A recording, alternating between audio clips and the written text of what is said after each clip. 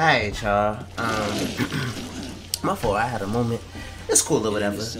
Um, but yeah, so I'm just dancing because you know we we less than a month out from Death Stranding, and you know, as we do every time we get new info on this channel, even if it's small, from small to big, we put that on this channel because you know we're covering Death Stranding and it's about to be lit. So we just got some info about how big the game is gonna be. Apparently, as far as size, I think it's supposed to be smaller than Red Dead Redemption 2, right? Which y'all remember was huge. That shit is huge. But it's supposed to be bigger than Zero Dark 30. What? Like, yeah, I legitimately forgot the name of the freaking. I meant to. Whatever.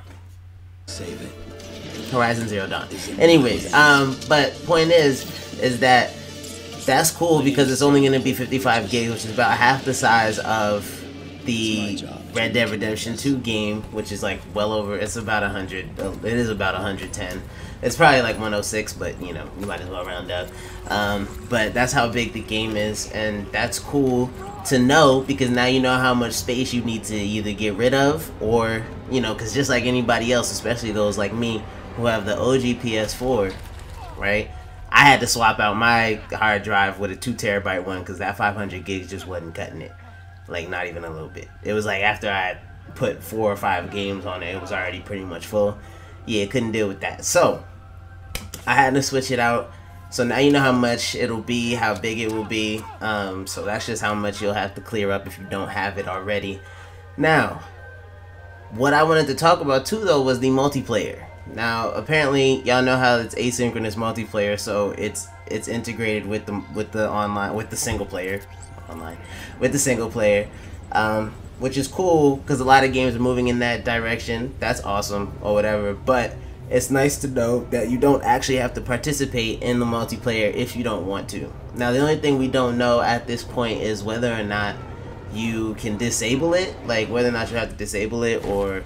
Um, if it's just something you just don't have to participate in. Like in Watch Dogs 2, if y'all ever played Watch Dogs 2, that was pretty integrated. You might randomly have some other another online player be driving around and be chased by the cops or something, or they might just try to hack you, but you didn't have to participate if you didn't want to. So we don't know if it's gonna be like that or if it's gonna be just like disabled if you have the ability to disable it. But you do know that if you don't have a PlayStation Plus subscription, you're not screwed. so that's nice. Um, that's nice to know. Obviously, it has this whole story on its own, anyways. So you can play through that regardless of whether or not you had PS Plus. But it's just nice to know that you don't need to do multiplayer if you don't want to.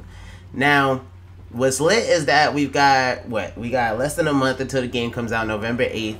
And we've got even less time before reviews come out because November 1st is when the when it's when the the hold on people's reviews gets lifted.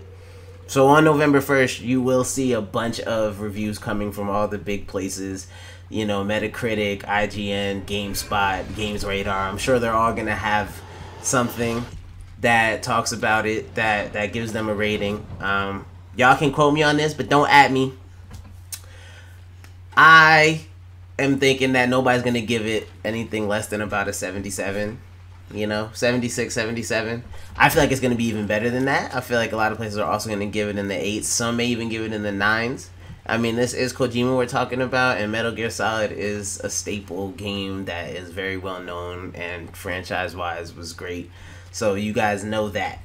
Um, so yeah so november 1st we get all the reviews like I tell everybody, because I do it myself, is that I'm not saying don't check out the reviews, but take everything with a grain of salt. If you wanted to play it, you should play it because you may enjoy it more than whatever the rating was. Um, if a game gets rated lower than you think it is, like games have that I've played, once I played them, I was like, I don't know why I didn't get rated, you know, higher because I had a lot of fun with it. But you know, it's a it's an average score. You know, there's gonna be a lot of people that are gonna have it well above it, well below it. That's just how you get averages. Whatever. Um, so yeah, y'all. So I'm excited. That's what we got here. Uh, this now it's 55 gigs though. Just to so, so just so y'all know, it's 55 gigs, but that's before any patches. Let's hope that we don't really need a whole lot of patches. But that's not really new to Kojima because Metal Gear Solid 5 was big enough itself, but it was only about 30 something gigs. Like I think it was about 35, 36, close to 40. I've been playing it recently. I just looked at my storage. I was getting rid of the numbers. But so I mean, you know that even when this game is completed, it, it's still not going to be a whole lot of space. So that's nice. I mean, it's still more than Metal Gear Solid, but 55 is not the worst at all. I mean, there are games like the new Call of Duty that's going to be over 100, you know. So it just takes up a lot of space, but that does not. So granted, any patches that come, I feel like at most it'll get up to 60 gigs, which you know isn't isn't small, um, but it's not huge. It's manageable. So that's what we're waiting for. But you know, I'm gonna catch y'all later. You feel me? I appreciate y'all watching this. I want to thank y'all again for 50 subs. I appreciate y'all watching this to the end. And if you're not subbed, y'all already know what to do. Click that bell. You feel me? Click that. Click that. That that I'm gonna join the AGP family button. That's what that bell is. You feel me? Well, that's what the subscribe button is. The bell is just for you to know when I drop a new video.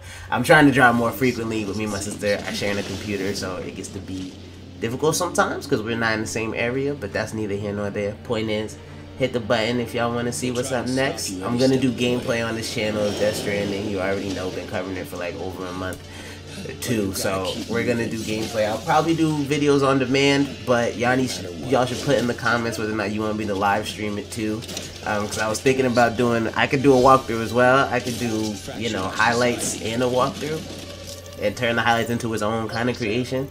But that's what we that's what we're here for. So let's get into this later when the game comes out. I'm gonna catch y'all on the flip side. Thanks again. Love y'all. My name is Sam Porter Bridges. It's my job to reconnect us.